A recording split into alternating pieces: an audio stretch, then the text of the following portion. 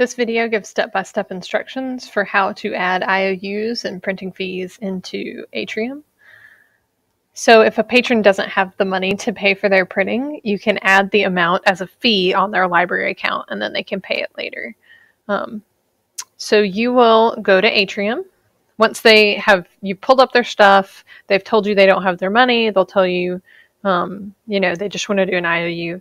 And you'll go ahead and print their stuff uh, come up with how much it's going to be, and then you'll you'll uh, go back to Atriuum, ask them to type in their student number, otherwise known as their lunch number.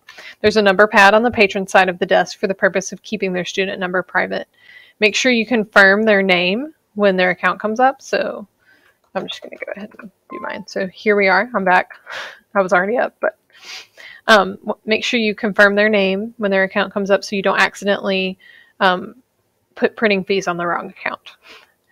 And if the wrong account does come up, you can clear it by clicking the clear patron icon at the top. And if a patron doesn't know their student number, you can look them up by typing in their last name in the barcode box. I'm going to go ahead and pull my own account back up. Um, once their account's up, you'll click on their name underneath the barcode box. And a new page will open with a full uh, view of the patron's account. On the right side of the page, click the link for assess fees for this patron. Fees, not fines. You're assessing fees.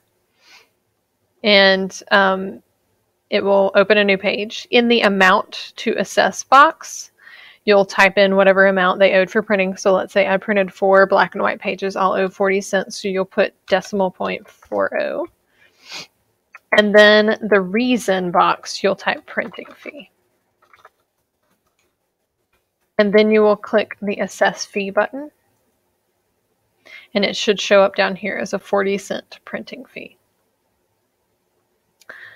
Um, do not add anyone using the IOU option to the receipt listing, the printing receipt listing. That is very confusing and it it makes a lot of trouble for me when I'm trying to turn in money. So if they are not actually paying you, you do not put them here. If they're just doing an IOU, you have to come over to the circulation desk and put their fee in that way.